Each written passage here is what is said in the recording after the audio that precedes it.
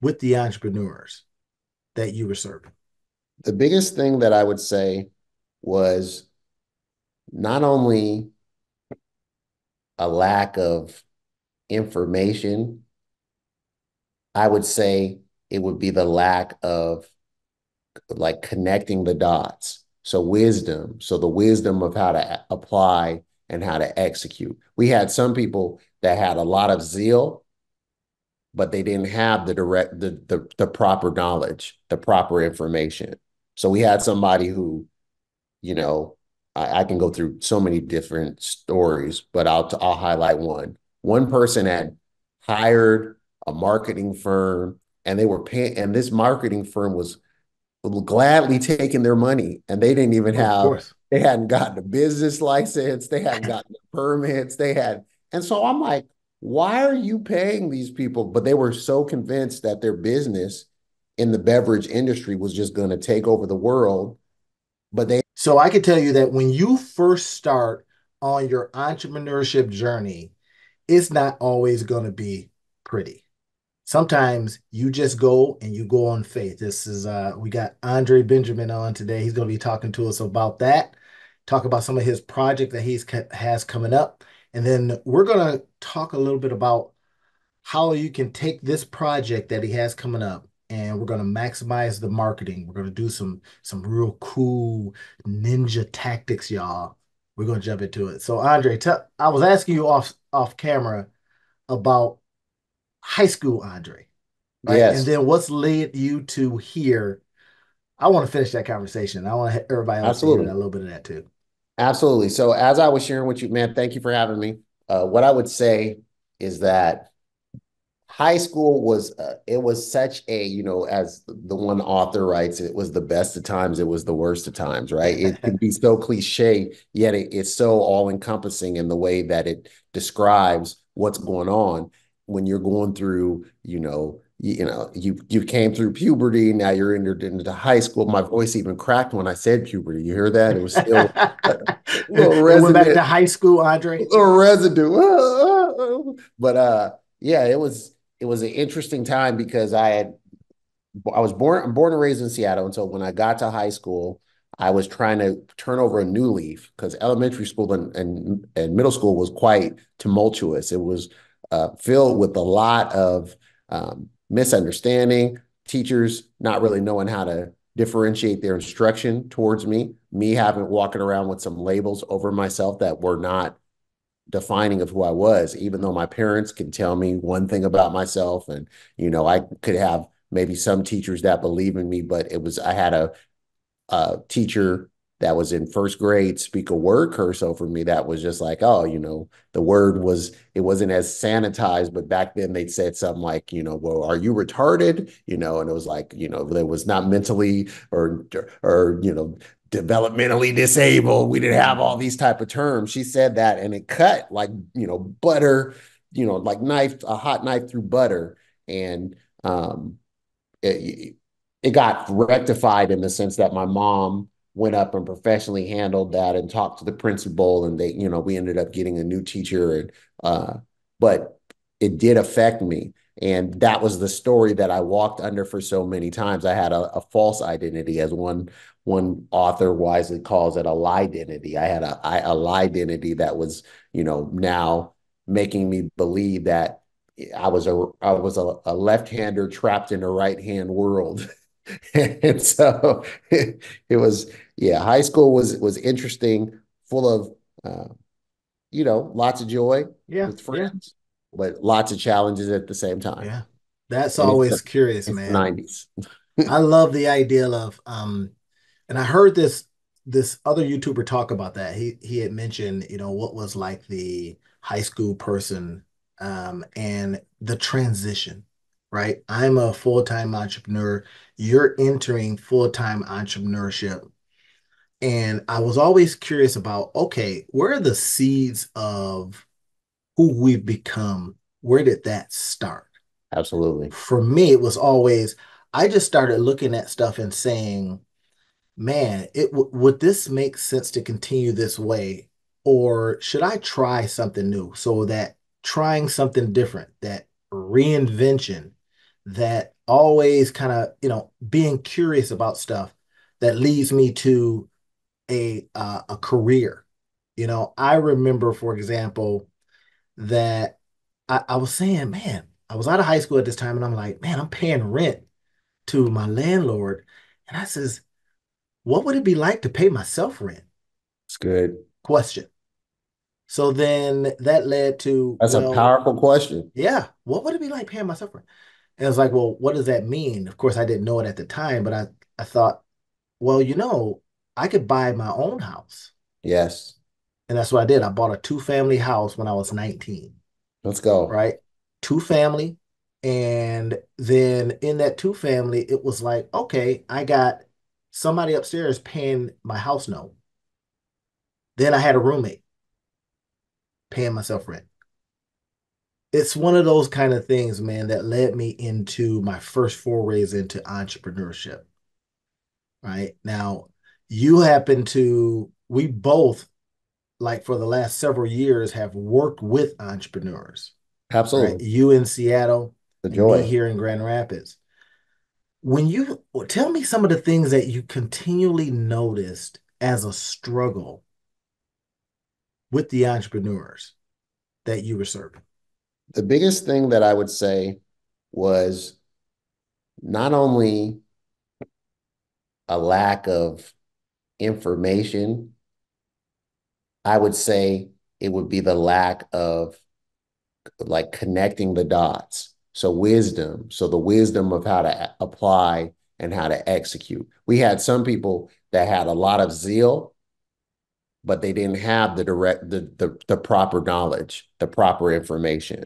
So we had somebody who, you know, I, I can go through so many different stories, but I'll I'll highlight one. One person had hired a marketing firm and they were paying, and this marketing firm was gladly taking their money and they didn't even have they hadn't gotten a business license they hadn't gotten the permits they had and so i'm like why are you paying these people but they were so convinced that their business in the beverage industry was just going to take over the world but they hadn't even started out. They don't know anything about this beverage business. They don't know enough about it. They don't have a, a, a practical recipe that's good, but they almost just have a delusional excitement about it. So I think we've had that side of the spectrum to we had those who are good in business and they have a solid product, but they don't have the confidence and the courage. You know how people say it takes uh, money to make money, and I don't believe hmm that. I believe it actually takes hmm courage to make money, and that's people good. having that courage to to get out there and always be selling, to get out there and always be problem solving, to get out there and always adding value to others. And I heard someone say that uh, this morning. I was listening to a podcast and somebody said the statement about how they said, you know, people people who come from a background of serving others and they are kind of indifferent towards money or they don't have the right training around that, they hmm believe that when they receive money, it negates the service. So that's why they're always in a rush to give things away for free. hmm Whereas the receive receiving payment is proof and it's receipts that you actually help someone. And I said, oh my gosh, it blew my mind as a paradigm. So I see that side of the spectrum to where somebody's super, uh, you know, zealous and then they don't have the proper knowledge. I see the side of the person who actually has the product that can add value, but they're almost giving it away for free. Then I see the person who is doing well, but they've not built They've only basically built themselves a job, so they don't know about how to put systems in place. They don't know how to collaborate, make strategic collaborations and alliances and allegiances. They don't know how to uh, put some automation in the areas that can be automated. They don't know how to leverage and utilize the technology that's available for them to help bring some accelerators in them. And they don't understand the value or the understanding of what the asset is, the actual what are assets and what are income producing assets versus, you know, liabilities. So hmm just I think some of those basic frameworks have been missing. And to me, my greatest joy comes from taking people to zero to one. And what I mean from that is that it doesn't matter what their stage is, if they've been stuck somewhere, it's to help them gain the clarity and the confidence and their capability to be able to execute in their area of expertise and value. So, you That's know, good. working with businesses and the health sector, you know, someone who's in the healthcare sector, then you got businesses who are in the landscaping, then you got businesses in the food and sector, then you got businesses that are in the education sector, uh, just working, then you got businesses that are in the um, logistics and moving sector, working with companies from various backgrounds and various industries and various verticals. It, yet a lot of the problems are still the same. It, it goes you know you can kind of cross pollinate with or you can kind of take the principles and dump them into different industries because it's it's just it's a principle. So i that's what i see with entrepreneurs have been the biggest challenges that they've either they have those those those challenges ahead of them. So i'm gonna hit if y'all heard that i want to see some stuff in the comments. Did you hear all of the problem statements now, as problem solvers, if you're listening to this and you're saying, I'm a problem solver, or your business or service is a problem solver for the four to five things that Andre just dropped out, you should be picking this up with your satchel because when we drop gold, we says pick it up. What do you, what do you, why do you got your just your hands? Right? Bring your satchel, pick these up, and then ask yourself this question How can my business, how can my service, who do I know that can connect with me with what I do, that can solve these problems that are consistent? These are problems that don't seem to go away. As you have more entrepreneurs coming on, y'all, you have that chance to go, oh, in my bag, I've got the solution to that problem that you will face coming up. And one of the big ones I heard was A, information, B, uh, connecting the dots so I got stuff, but I haven't connected the dots. I've got a product, but I haven't connected the dots. Or you're so hyped on emotion. And this is something that really breaks my heart when I see someone that is so fired up emotionally, but the foundations of being able to spin the business up isn't there. One typically wins, and it's usually what I've noticed is emotion. I want this thing right now. I wanted to start right now. And that's the emotion part. And then when we come in and say stuff like, well, let me help you build this foundation on the house that you've already built that has is not sitting on anything. Right? You get a little pushback every now and then. But I'm telling you, y'all, if you're listening to this and you start asking yourself, well, what does it look like to build the foundation right? Put the house on it and then extend the house as you desire. What would that look like? All right, we're going to be talking a little bit about that because Dre, Andre has a couple of products that he is finishing up right now. I'm going to have him talk about that. I want y'all to put in the comments any curiosities you have about that, any questions that you have about that. Andre, I don't know if you had any um, paperwork or, you know, cover art or anything, but tell us about this new project. I'm interested in it.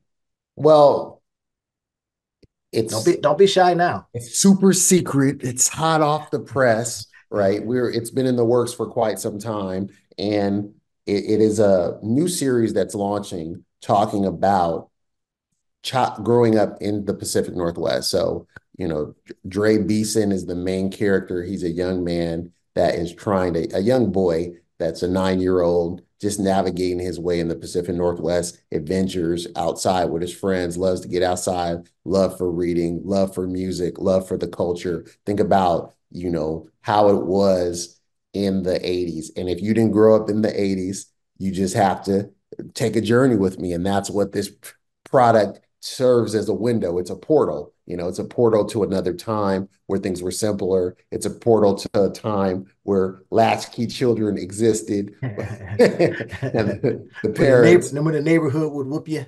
oh, when the neighborhood would whoop you. Oh, I know your I know your your father. Oh, they you and that that's what it you in trouble. People, your neighbors is, is they if they snitch on you if they see you doing something. It, it's it's a connected community. So that's what this story is about. It's about the adventures of Dre Beeson, um, over imaginative, just a great kid, great, great atmosphere. And he has to navigate through some bozos that kind of try to impede him and his friends, but just learning his his way throughout the world. And it's a very, very, very uh, you know, it, it, it's an eye-opening joy builder for people. When I've let people hear excerpts, everything from the audio, because it has the written, you know, we, we're, we're doing the different mediums. We got the written, we got the audio. There's going to be some visuals to go with it. We've got the uh, soundtrack. We've got the score. We've got the you know NFT to go with. For those of you who are more on the digital savvy side and you want to have something collector, you want to see something in the early stages and how it got to where it is. We have a 10 um, part NFT that's available. So this is a it's a groundbreaking project because it's not only episodic, it is encouraging. And so people can navigate and how to really start to grow in love with their own uniqueness, their own unique and, and strategic and distinct abilities. Like what is it that you do so great? What makes you unique? You are you're everybody's unique in the universe and everybody has something that they bring to the table. So that's what that's a little bit a little snapshot of the That's good. That's good. And one of the things Dre and I were talking about yesterday uh, is some very specific things to do. Uh, and bringing in a little AI for help. Dre was mentioning. Oh, let's see it. That's the logo. S O A. So ashy. So, so ashy. Oh man, you're killing the Ashman Chronicles. So, so ashy. Ashman Chronicles. And yes, we were talking about how to launch it, right? So Dre called me up and was asking me, um, you know, some filler questions because he's he's got it pretty much figured out. And this is what I want to talk to and look literally right into the camera, talk to the entrepreneurs. You're gonna have a lot of stuff almost and just figured out. You you got it all right there in your head. You know what you want to provide to the public. But one of the things that I caution you with is, well, let's find out if the public wants it first because sometimes they don't. And we've put in all that work, and that's where our feelings get hurt. Now, we don't want our feelings hurt in business. And in order for us not to get our feelings hurt, what we do is test stuff. And that's what I was telling Dre. I said, there's no perfection.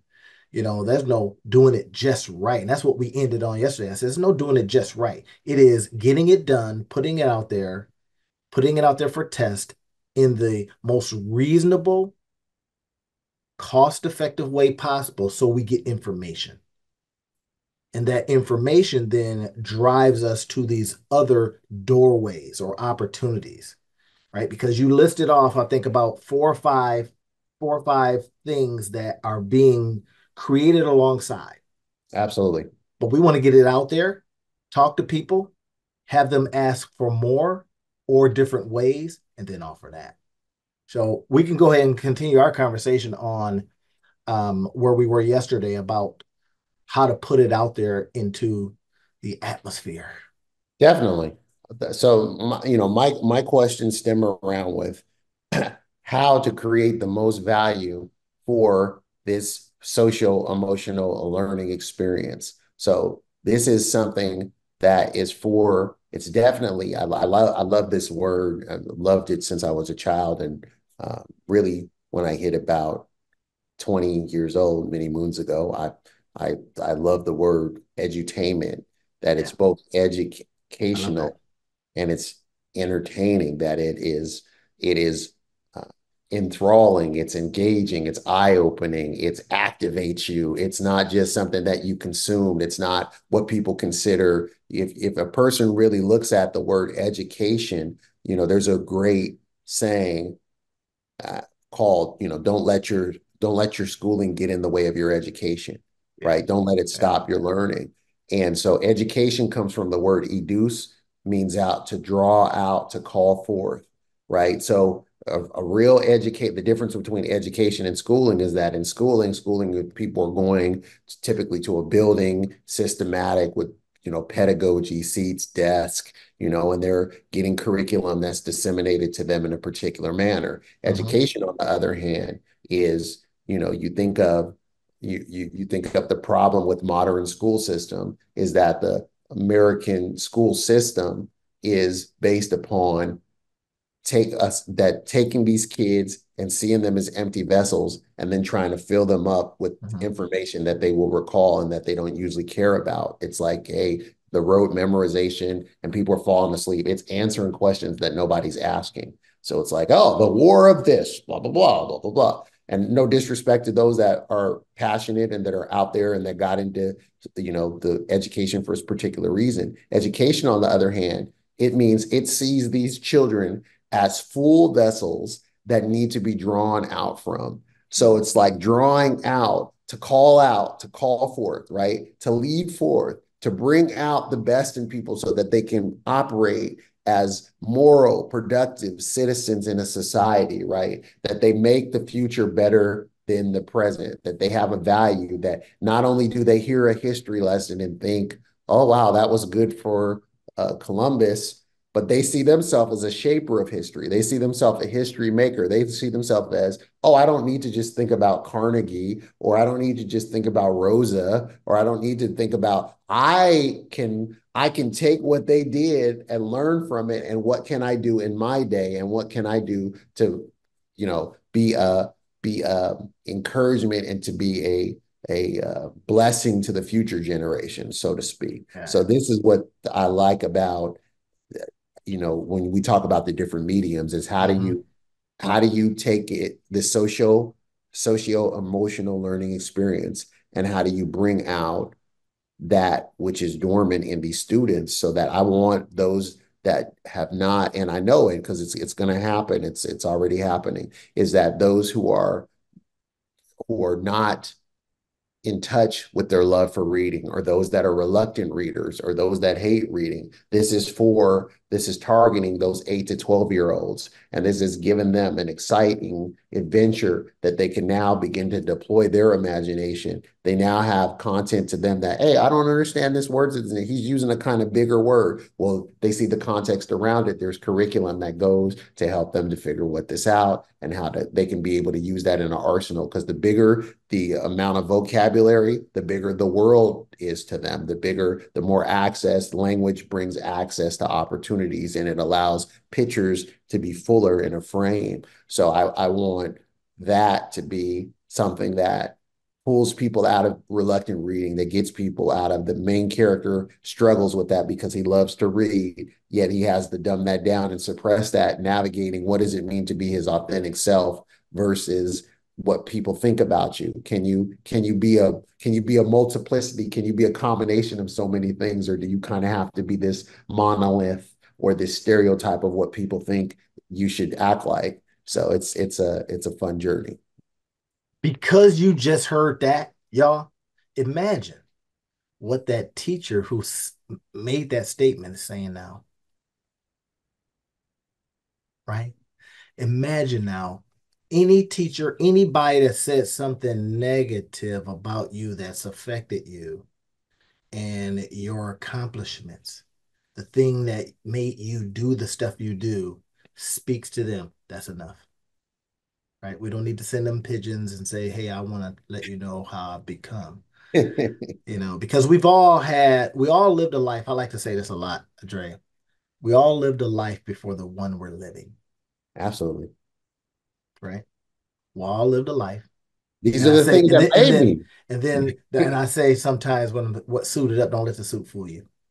Right? Yes. We all lived a life before the one we live in. So the question becomes, what is the new life? that you want to live? What is it that you want to do differently? How do you want to reinvent yourself?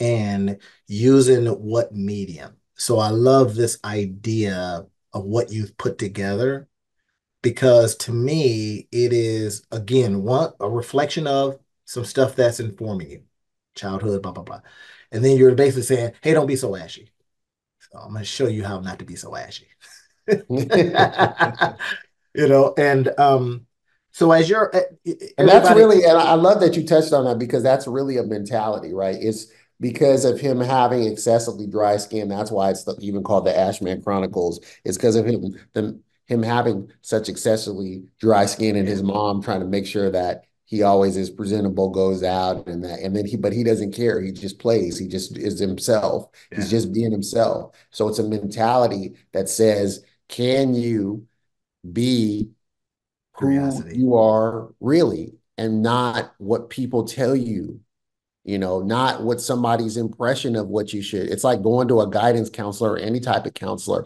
and there you literally see them trying to lead the conversation and trying to lead you to where you want. They're not drawing out, they're not asking you questions that are empowering questions. They're asking you questions that are framed in a narrative that make you a victim rather than a victor. And I refuse that narrative. And I'm saying people have the opportunity to shape their own narrative. You have the opportunity to say, wait a minute, this is the lens through which I see the world. So when we were talking, we were saying, how do we take that mm-hmm. and how do we get that to the most amount of people how do we how do we identify the audience that's there how do we see you know what um, tools are are are there to accentuate this and to make it more accessible how do we leverage i mean i'm finding out that there's tools out there that translate and you know, I'm like, what in and, the world? And I use these tools because I'm all about utilizing AI, you know, and um making stuff better faster. I literally, Dre, yesterday I was on a um a workshop with Startup Grind Grand Rapids.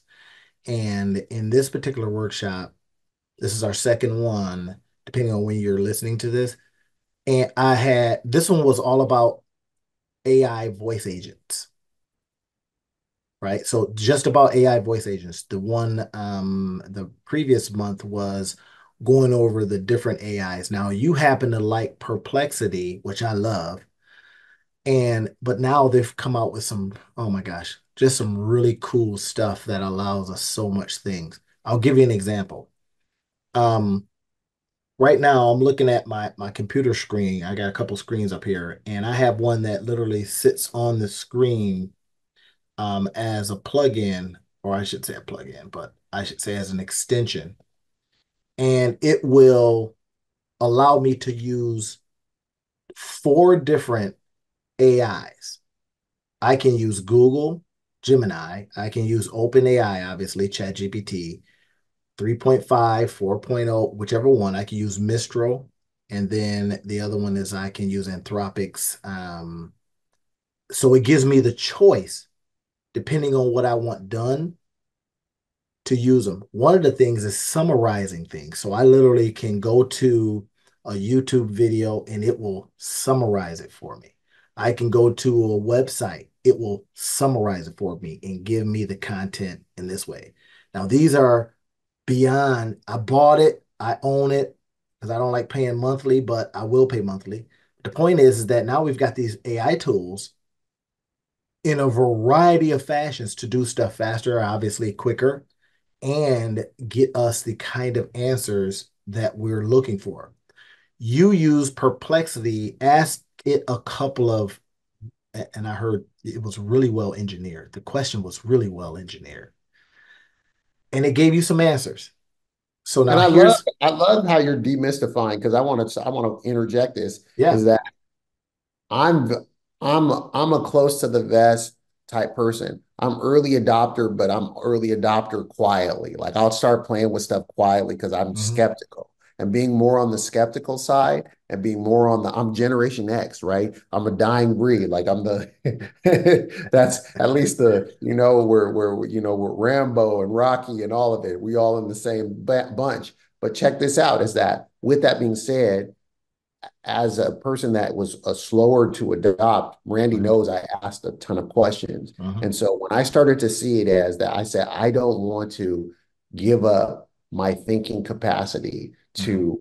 I don't want to I don't I, want to I remember that. Technology. So I don't have a nerdy dream. I don't have the Silicon Valley kind of nerd dream that one day I'll be just be sipping pina coladas on the beach and you know everything is like the Jetsons and I don't ever have to do anything lift a finger like George was you know getting a cramp in his finger you know because that was that was his work was to push a button or everything is just voice automated and I don't have to think or I'm getting fat like the people in WALL-E and not being productive. Mm-hmm. No, I told him and when I understood somebody said it's like you know if you see these as extensions of tools that can bring assistance to you. So if somebody says chat GPT, somebody said chat GPT, I have a ton of people, Randy included, that have been utilizing it, that love utilizing it. Hey, you can see that as a thinking partner. You could mm-hmm. see that as a thinking partner that's on your staff, that's helping you brainstorm, think through frameworks,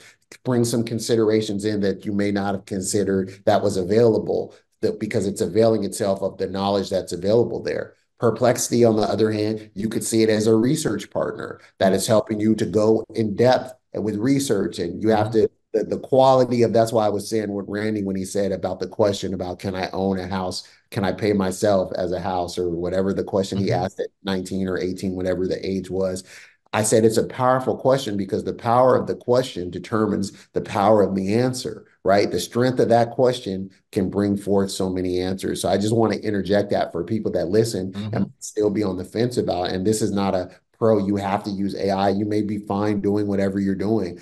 I'm saying that if a person is curious about how to utilize it, don't go further than you would, but to, to go avail yourself of the tools that are available because you don't want to miss out. And so it it encourages me when I'm hearing about things of saying, I'm thinking about when I think about Ashman, I think about, well, wait a minute, what's a huge audience here in America and mm-hmm. globally? Is I got my Spanish speaking brothers and sisters. Two of my kids are Spanish speakers, and because we put them in Spanish immersion. So I'm like, you know my third our oldest now is taking spanish in school. So i, I don't i don't want to miss out on a whole good part of the world that's available if there's something that can translate it. Switch for them and give them the same exposure and opportunity. Right and that that part becomes where the opportunity lies. Now here's what's key is when uh, uh, andre was using perplexity and this is where some of the um, coaching if you will comes in is I noticed what Perplexity had suggested as a couple of AIs to use to um, because of the the way he engineered the question. The question, I don't know if you can remember the question, uh, Dre, but um, when he asked that question, I was like, okay, that's a good question. And then it gave back some information. And because I use these tools, I was like, well, substitute that tool for this one. Yes. Because I found that it works better. And then it was another one that I says, okay, I would probably use this tool because it's going to give you a more refined kind of answer. So that's one of those situations where you could just lean on the AI. But sometimes when people are out there working with it, you know, if they're if you're if you've kind of like brought in a consultant or a coach or something like that to kind of help you guide guide you through some stuff, that's where that piece of knowledge is what do you use? And that's what Dre was asking me. It's like, well, you know, what other tools could we use to get this out to the highest distribution channel? Because right? I want to vet it. I want to vet it past humans because human te- is human intelligence is the intelligence that is creating any of these other mediums. So right. period. It's like it's a, these are channels, you know. Yeah. And so I look at it as I say, no matter what, there's the the the the the empathy there's the critical thinking there's the creativity there's so many elements of humanness that is missing from something. So i'm going to vet it and run it by and say well what have you found has been useful? You know what would you say about this? You you hear the dilemma that i'm facing and you hear the problem that i'm looking to solve. Tell me some of your thoughts. And so he's tweaking and refining and that's my encouragement to you as well. It's like somebody sitting back and saying I mean, I know there's people that are doing it, but there's people who want these things to write books for them or research papers or whatnot, or they make a stellar resume for them, but then they are expecting, make me get me a job that pays me a mm-hmm. million dollars a minute. And it's like, okay, you step into that world, and if you really can't deliver the goods because you were depending on your tool to make you better than yourself, then you're the one that's robbing yourself of of the, the the the joy of learning and the joy yeah. of discovery. And that's why we use it alongside. I like to say AI empowered, right? And um, AI assistant, human assistant, whatever you want to call it. Leverage it that way, and I think you'll have a, a lot more success. Specifically with one of the areas Dre was asking about yesterday. In one of the things you also have to consider is not trying for perfection. So so my recovering perfectionists out there, I'm talking to you as I'm one, right? I'm recovering, y'all. Leave me alone. So I'm saying we try things, right? We try distribution channels. And that's one of the things that I suggested to Dre yesterday is, hey, let's let's take a portion of it. You've got a portion done. So let's put that portion on its own landing page, let's say. Yes. Because that's what drive traffic to like. What tools are there to repurpose the content? So how do you repurpose? How do you take it, chop it up, and repurpose it in a way to disseminate it to your target market mm-hmm. effectively and consistently? Mm-hmm.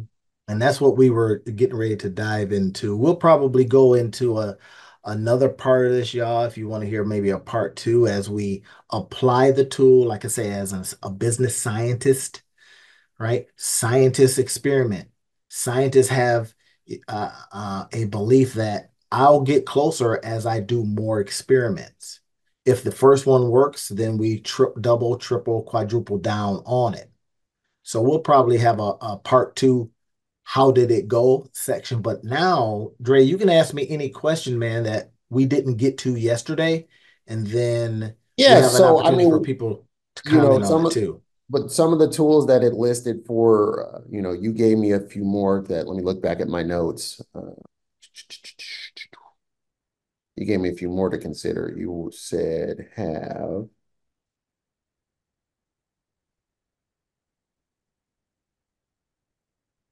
I think it gave you Chopcast.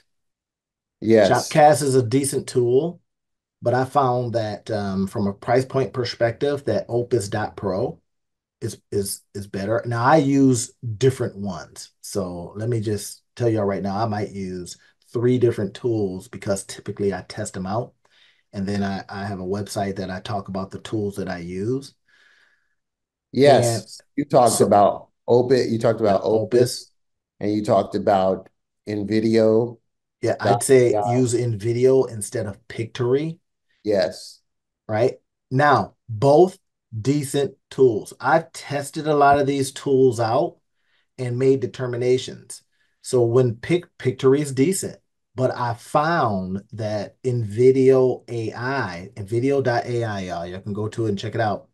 And I'll leave some links to these things too, some some of which I'm an affiliate for. But I'll leave links for a lot of these tools and give my explanation on them. But I found that it just works better. It is more intuitive. It really pulls the information and it gives you really good scenes. Some of the places that it pulls from to get the scenes I have found are better than Pictory. Pictory makes you do a little more work. And Dre now um, is fortunate enough to also work with virtual assistants which is good. But some of us have more time that we can do this stuff ourselves until we get to the level where we have other people working with us and for us. So, depending on where you're at on that spectrum, decide. But I want you to be able to use something that's going to go faster, that's going to be cost effective. That's always a consideration.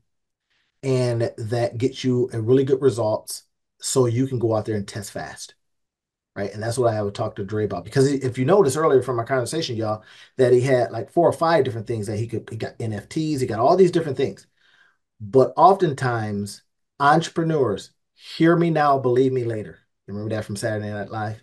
Hear me now, believe me later. We don't suffer from lack of ideas. We suffer from too many. Mm. So I like to call, I've heard this said before, so this is not 100% mine, but it's called idea indigestion. wow. Right? So idea indigestion is when you're having all these ideas and you don't spin them out.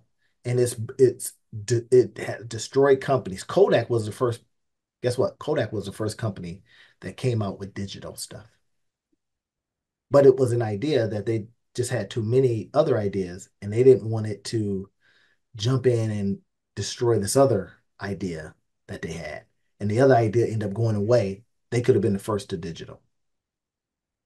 Right? Blockbuster. Y'all have heard these stories before. Blockbuster. Uh, Netflix went to Blockbuster and says, Would you like to buy us? And they wouldn't even take the meeting. They were like, we don't need it. We got thousands of stores.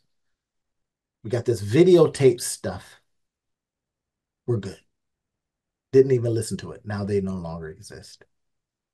Right? When we're not able to test out our ideas and we're just so full that we get indigestion, that's where sometimes we bust. Focusing, testing, determining, I like to call it stick a toe in, right? Stick a toe in says, uh, the water feel fine? Okay, it feels good. I'll stick now a foot in. Oh, that's good too? Great. Then I can go into these particular areas. You test in such a way that allows you to get information and to keep an eye on while you're focusing on this one thing, testing it. If it works, double, triple, quadruple down. If it does not work, then A, we've either found the wrong distribution channel. And this is what I wanted to say with you, Dre. We have to find the right distribution channel for where people are most likely to buy that product. And you got different products. So it's like your house has different rooms. Which room do we want them to come in first? Kitchen, living room, metaphors. Yeah. Right? Side, oh, back in the day, we had a, a laundry room where you come in the side door. right? And everybody in the family knew that side door. And the salespeople would go to the front door. right? They didn't know that ain't where we have people come in. That's the furniture with plastic on it. So we have to decide what door we want people to come in first to get them into the house. Once in the house, then we can present other things that they may want to go to. So I think for us, man, as you think about your product, start putting it out in a format now. I would literally take a, uh, a chapter, do a little reading. You got audio already. Take a subsection of that, put it on its own separate landing page, literally and say, this is what's coming. It's being finished up now, but I want to share with you what I've got so far. What do you think? That gives people a chance to give you information, feedback, and get this user generated content. They've used it, they've interacted, and they give you content back telling you what you should improve, or if it's really, really good, you then triple down on it that kind of stuff. But it starts with just putting things out there in a separate enough manner that is focused. We understand we got the whole house, just one door. That part. One door, let them in, see what they say. And then they say, oh man, what else you got in this house? That's when you're rolling out the other things. What are your thoughts on that? My thoughts are I am taking thorough notes because it makes quite the great amount of sense to have the figure out which channel to distribute on, the right distribution channel where they're mm-hmm. most likely to buy at. And those are the, you know, what are tools that help to identify the the the match, the audience match. You get mm-hmm. what I'm mm-hmm. saying? Because uh-huh. it's like I want to go where the hungry fish are feeding and swimming. Now, clearly, I know the friends and family at tactic of I this is not my first rodeo with putting out a book. This is the first with a children's series targeting mm-hmm. particular. So, with that being said, I know to hit up teachers, educators, principals, administrators, you know, children's, you know, people who have businesses that are targeting children. I know how to hit them up for collaboration and put put a copy of things in their hands yeah, I'm when you're online, how do you get the, you know, how do you I'm I'm not that guy. I'm not the, the we're currently the guy who's in the I need a particular who that is in that world and that's not just going to try to play you with ripping you off. Let me run ads for you and more more ads for you and more ads for you. What are you what are the organic ways to go in and have great create create and join and that's the thing is that i'm i'm not opposed to i want to join legitimate conversations that are out there. So if that means that on linkedin that there's conversations that i need to get in rooms that i need to be in literature that you know i'm one of the things i thought about that people have been begging me to do for years because they always on the side ask me about is people are always asking me for book lists. What are you currently reading? What are you this? What are you that? They've been saying why don't you start a, a thing that where you just literally just review books and you talk about the best things out of them so i know that that is coming Um, to and I and I know that naturally that might be I might be answering my own question, but that that is also I've done that for parents with their with children's books, like listing other children's books for them. Like here and here's links, and and I'm not even an affiliate, so I probably should be earning Yeah, some money from that yeah. as well. So Because I but will I will tell you to do that, sir. Now, again, because of where you are now, that's full-time entrepreneurship. So again, as you as you all listen to this and you say, well, wait a minute, I had a full-time job and now I do not because I wanted to bet on myself and be of better service and I needed the time to do it. Whatever reason you are deciding to become a full-time entrepreneur, now you start thinking about all your monetization opportunities that are different than what used to be. What used to be is two week check, every month check, every week check, whatever it is. That now you have to think about the revenue and income producing activities that are on a daily basis. Now, I don't want to send too much information to y'all because I will, but I want you to be able to take this and disseminate it and look at the things that I've said in total and break apart the pieces that you can use today. Right? That that keeps me from the fire holes, you know, um, um, uh, parts that I have a, a tendency to do because I want to give it to you all. I'm gonna give it all to you. So now we have AI that'll break it out for us. So you use the AI. So in your particular case, you're constantly thinking about the monetization strategies, right? And you're saying, okay, where are these people? How do I know they're buying? Well, because you notice that they've been asking you for this thing already. Oh, that means they're hungry. Yes. And not only are they hungry, but they've said, and we want it from you. That's a perfect opportunity. We want you to give us XYZ. Those same folks are now saying, hey, your product's out. We now have to connect them to the fact that it's not all the way out, but it's out enough. Do you want to pre-buy some of these when it comes out? I pre-buy books all the time, products, books, everything, because I know that author oftentimes or that person. I trust their stuff. I trust their judgments, right? And then I'm waiting for whatever they got coming. So if they put a link out there and says, hey, here's a little bit of it. I know I like to build in private, but here's a little bit of it. The rest is coming, but go ahead and here's a link where you can pre-purchase it. Now you obviously are going to deliver, otherwise it's fraud, right? You got to make sure you deliver. Or if you can't deliver, you send people money back, kind of a thing. But you're a deliverer. So that's not a worry. Give them a buy button. Give them a way to go ahead and jump into what you have coming out. And if they're really eager to purchase it so they can, um, you know, get grandfathered and grandmothered in to the world of whatever it is. That right there, man, I can tell you is one of the things that stop entrepreneurs all the time. They don't know how to sell it or present it. And we could go levels deep right now, finding the people, giving them a chance to buy. Hey, that's the first experiment. Here's a button. How many people pre-purchase? Oh, that's pretty good. Open that up. Quadruple down on that. And then if you determine that, dang, nobody's pre-purchasing, then it could be something either they don't want, they don't understand, they don't have time for, or they feel that it's just too many hoops to jump through, whatever, right? And then we start reducing those things out, making it super easy for them to buy, super easy for them to understand. That understanding sometimes comes in you getting on and saying, here's why I did it. Here's what it's for. Here's how I can benefit your life and life of your loved ones. Then they go, oh, I see it. Because they don't always understand a title like you. They may say, so Ashy, what, what what's happening here? And then you come in and says, well, it's really a metaphor for things that you may hear in, and now you're informed. So you're trying not to be so ashy with your actions, blah, blah, blah. Oh, I get it.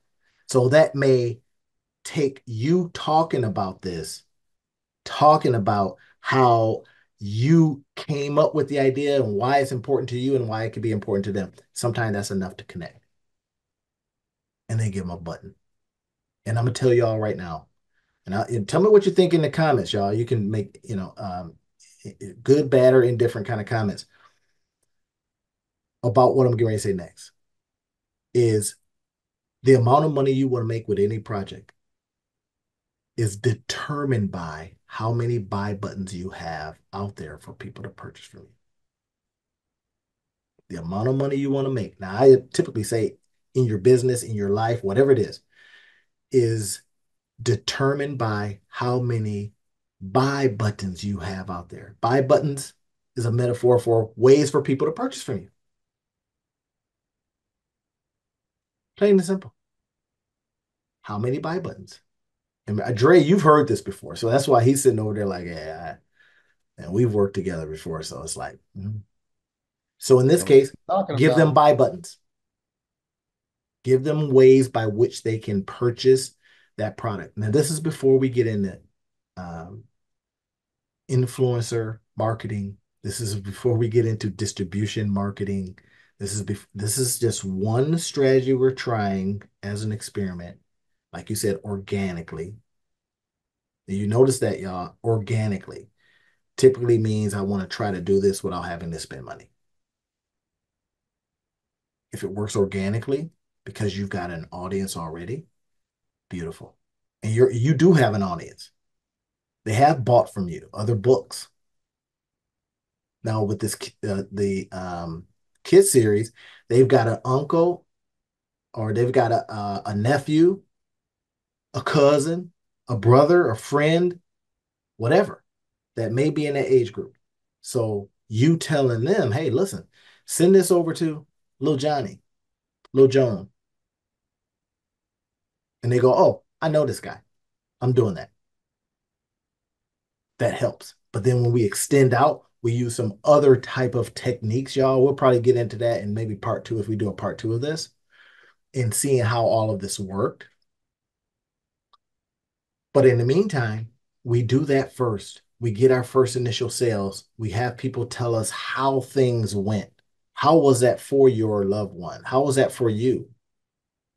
And then they give us some user generated content. We then take that, says, here's what everybody's saying.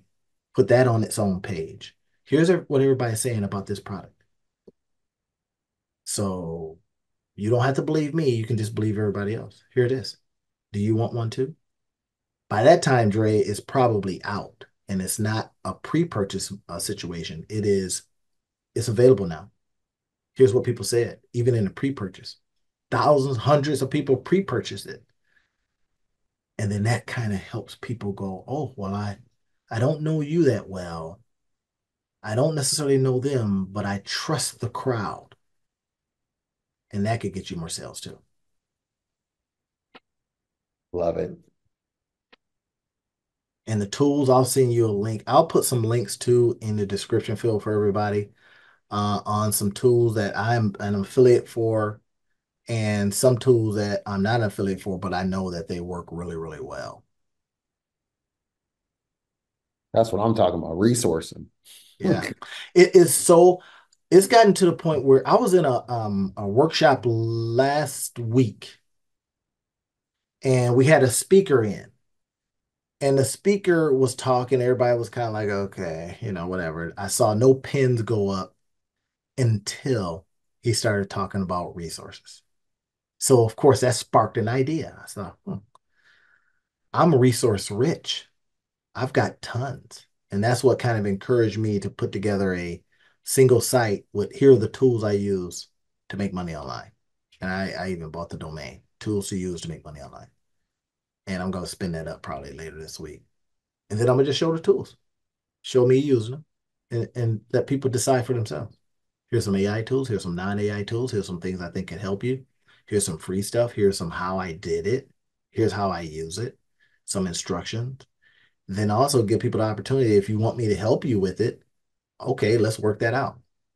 I'll be your technical person, if you will. That part. So with you, I heard it earlier. You says people keep asking you to do this thing. That sounds like hungry fish, bro. I don't want to call people fish, but you know what I mean. That sounds like a place where you should be fishing. Definitely. especially if you're you're a reader like me. All right, my site is called um, "Can This Book Make You Bucks?" So I'm telling people, I just read it. Here's what I think, how it can help you make some money. What do you think? So every time I read a book, I put it on the site. Smart. Right. So what what does that do, y'all? Y'all now, if y'all have Googled me, you know I call myself the monetize your life guy. I've got Monetize Your Life Academy. I've got, you know, I told Linda, my wife, I said, Mila, My, Mile, Miles, Mila, and Millie, and Miley. She's like, what are you talking about? I says, well, there's Monetize Your Life Academy. I have Monetize Your Life Systems. And I says, I have, I constantly give out Monetize Your Life ideas. Mm. Right? I says, mama, dad, mama, daddy, child. Mm. She's like, hmm, it's interesting. You know, when you can impress your wife after, you know, Oh, it, it, it matters. you're Believe. you're you're on. If your wife goes, yeah, that's a good idea. Because they know you, right? They've seen you, they're used to you, right? So that becomes the thing, y'all. Um, Dre, you can ask me anything, man. I haven't I start work at uh today at, at noon here in the home I, office. we're. I mean, this is this is a good place to land the plane. I got enough meat to chew, um, and to really go forward. Uh, that was my key things was, and and it, came out through conversation. The value adding conversation caused for me to gain the clarity that I needed because it is a confirmation of why you do add value by doing the very thing, being in the spaces that you need to be in. So, Mhm. where are people having the conversations at? And then what conversations can I legitimately create? Well, I know books. I love books. I'm a constant learner. I constantly am. There's always a book in the cart that's coming. There's always several books that's coming. There's several books being read and annotated and torn apart and being taught to my children. And, you know, this is what it is. So, this is yeah, it's it's time to uh, jump into that. So okay, so we will talk to you. Maybe Dre will come back on uh, on when he is at a different spot in the process. absolutely, And then we will give you all the links to the good stuff, right? And um, anything right now that you already have, we'll go ahead and leave you links for that too, y'all. And in the comments, you know, if you saw some value from all of this, I'm going to leave you some links that you can buy me coffee or whatever you want to do. I'm going to leave you the opportunity to go ahead and honor this, this, these, these gold nuggets that we've been dropping. But if you thought we were just a, two guys full of canal water, well, you can tell us that too. We'll talk to you next time.